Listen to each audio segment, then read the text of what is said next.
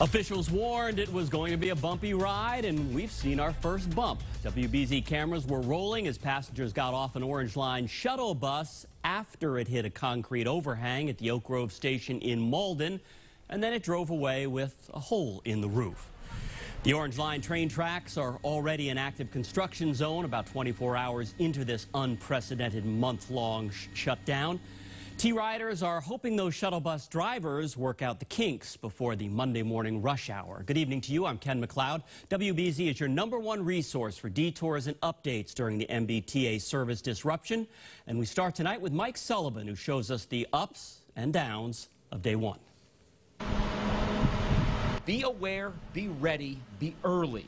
Be patient with one another. Be prepared for what the Orange Line needs right now change transportation system being in a little bit of a, a, disruptive state right now. Mayor Michelle Wu is like many in the city.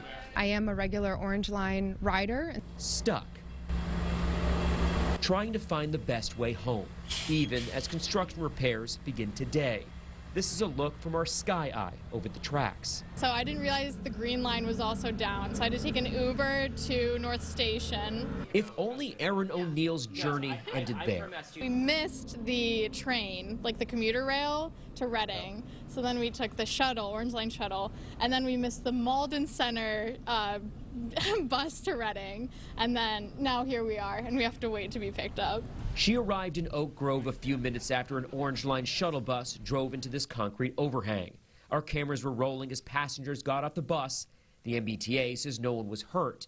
You could see a hole ripped in the corner of the coach bus, but this vehicle is taller than the average shuttle. You see all different uh, company names on the buses because they're truly sourced from all across the region. Work began on the top of Oak Grove with cranes hanging high overhead.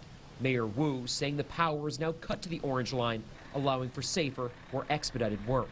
We are feeling as prepared as you could possibly be for something of this magnitude happening. The question is, are riders? I, I don't know like how we ended up here because we took the bus for like so long, like a very long time. Christina Pan, a college student, contemplated an Uber. I want to, but the shuttle bus is free. The cost, however, is convenience. Now I, I need to use a bathroom, but it's close. In Oak Grove, I'm Mike Sullivan, WBZ News.